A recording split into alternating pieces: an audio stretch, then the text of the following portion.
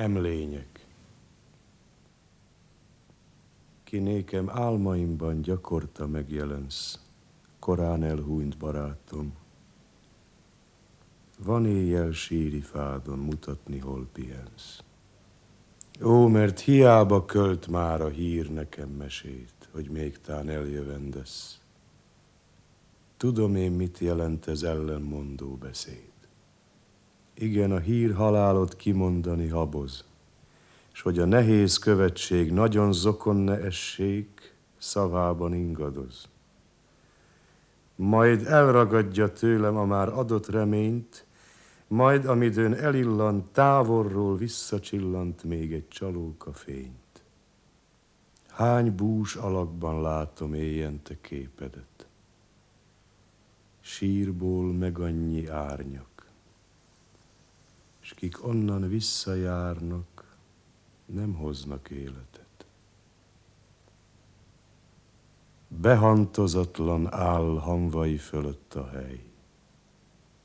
Hol merre nyugszik ő, nem mondja semmi kő, nem mondja semmi jel.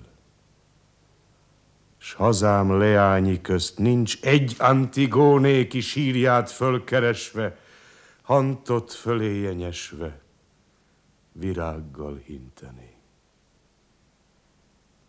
De nyugszik immár csendes rög alatt, nem bántja többé az egy gondolat, mely annyit érze, hamvad a kebel, nyugalmát semmi nem zavarja fel.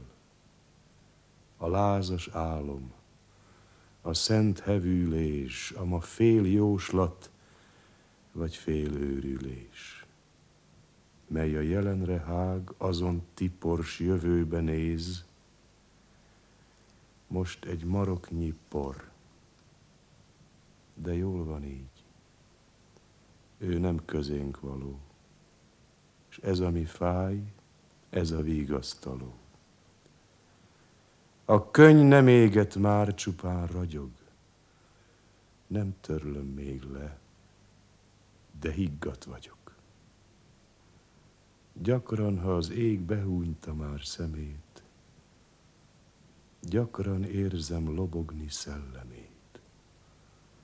Szobámba leng az a nyílt ablakon, meg megsimítja forró homlokon hallom suhogni könnyű lépteit, és önfeledve ajkam szól, te itt, s döbbenve ismerek fel rajzomon egy-egy vonást, mit szellem újja von.